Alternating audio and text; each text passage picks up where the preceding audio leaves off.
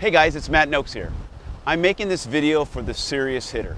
Now, I'd like to tell you a little bit about some of the research that I've been doing over the last 20 years. It's something that I feel like you need to know if you would like to change the course of your career. Now, I don't know what you're going through. You could be going through something really tough. And I do work with players often that are struggling. I mean, to the point, I remember, I mean, it's a point where you want to come to a place like this and you want to quit and go home. Um, you may be having a slow start.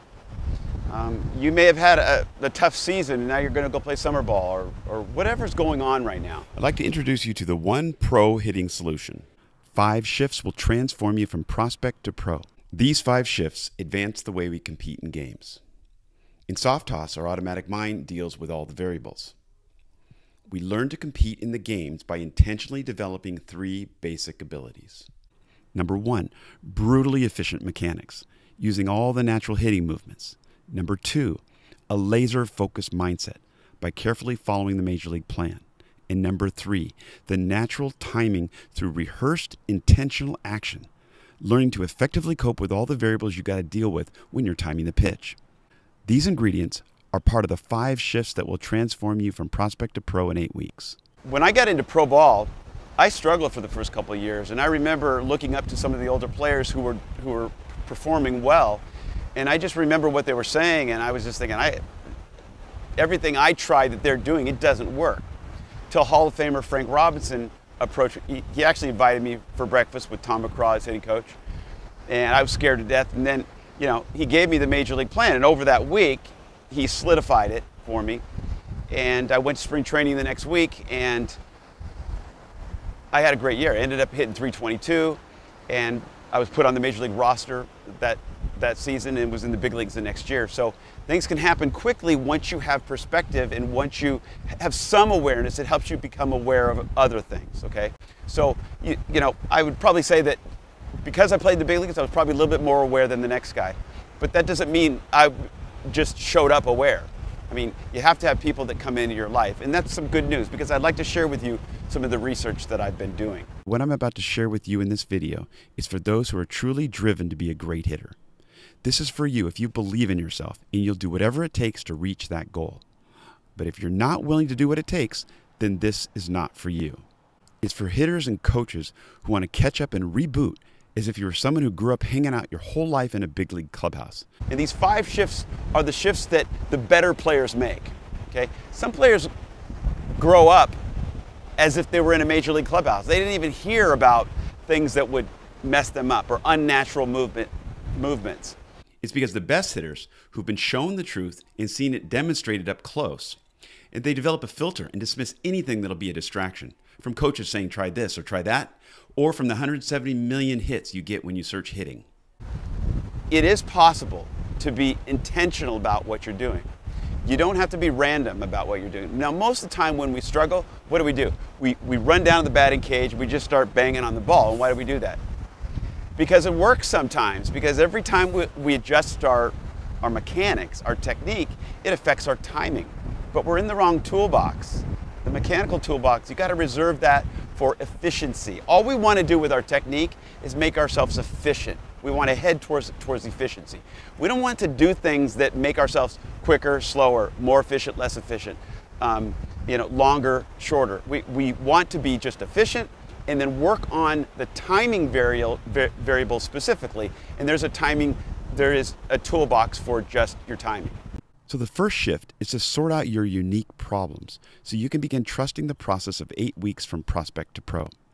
The first shift is we got to fix whatever's going on in your in your approach right now. I mean, everybody's got something going on and everybody's a unique hitter. So we got to fix that first because you're not going to trust a, a complete reset unless we fix what's going on right now. When a hitter is struggling, it's never just one issue. It's always a combination of things going wrong.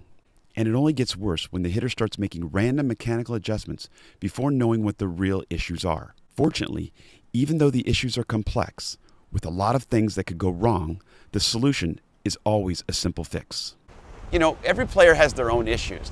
Every player is unique, and there's never just one issue that, that a player is struggling with. But before a player can have context, before they can have perspective, before they can kind of have a reset and start learning, you have to figure out what's going on.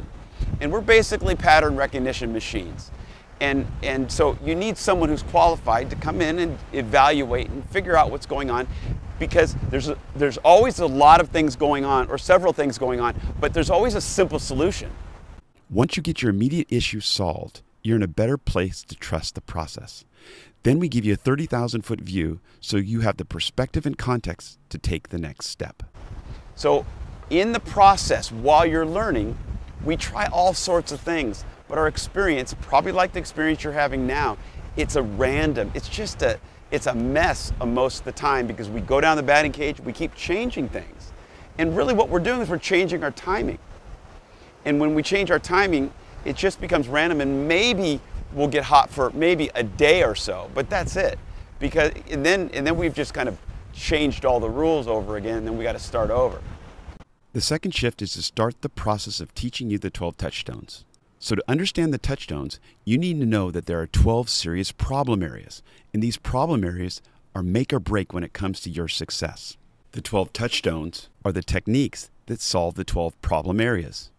So, over the years, I've come to I've come to see, from the best I can see, there's 12 basic rules. Now, there could be more, there could be less, but I've, I've narrowed it down to 12 rules. Some people may call them absolutes, but I like to call them the touchstones.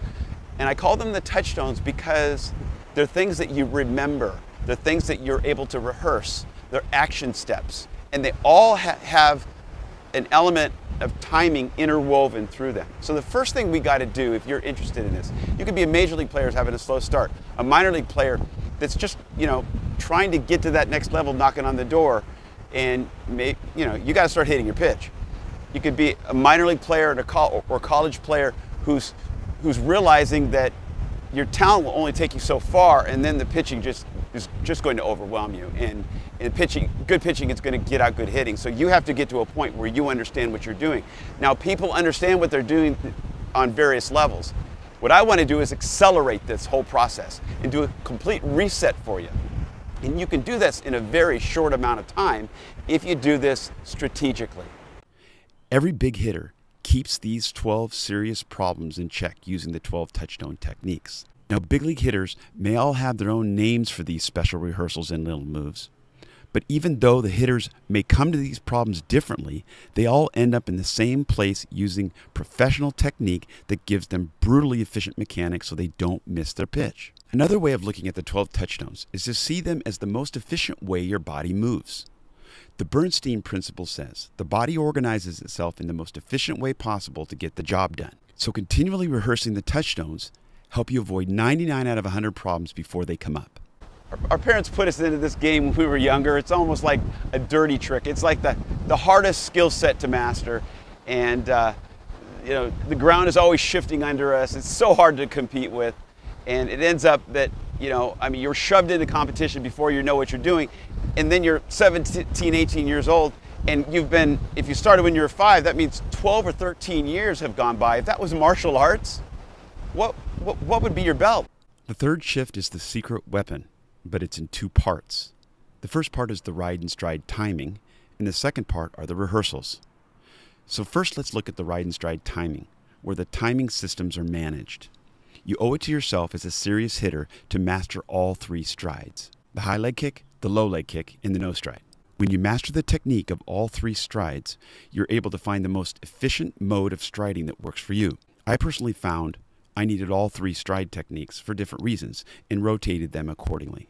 You'll learn how all three professional stride styles work and how to rehearse them until they're efficient and effective for you. You know, I've, I've worked with players often, and when they're doing a reset, I'll be flipping them the ball underhand, and I'll usually give them a day, but you know, if, especially if they're an older player. If they're a younger player, you know, in, in high school, college, or a young professional player, I just get get right away and I say, okay, what's going on? Why is it taking you five balls to hit a line drive? They go, well, I'm just getting ready. Well, I go, you, you don't get it.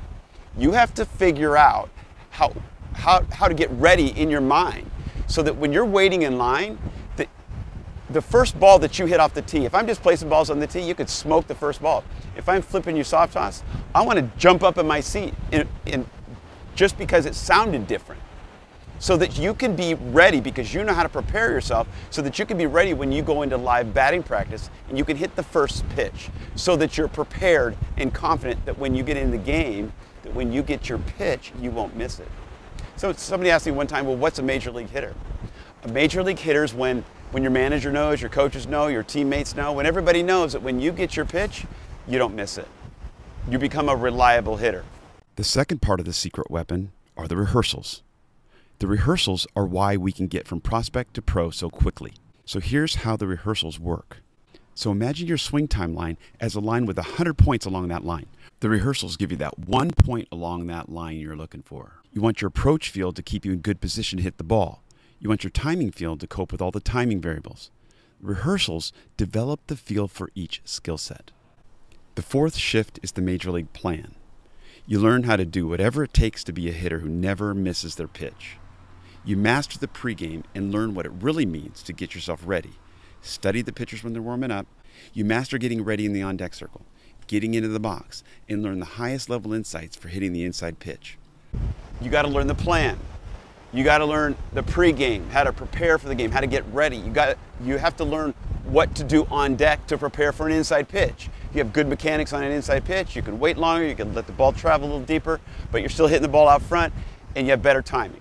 The fifth shift is to invest in expert mentoring.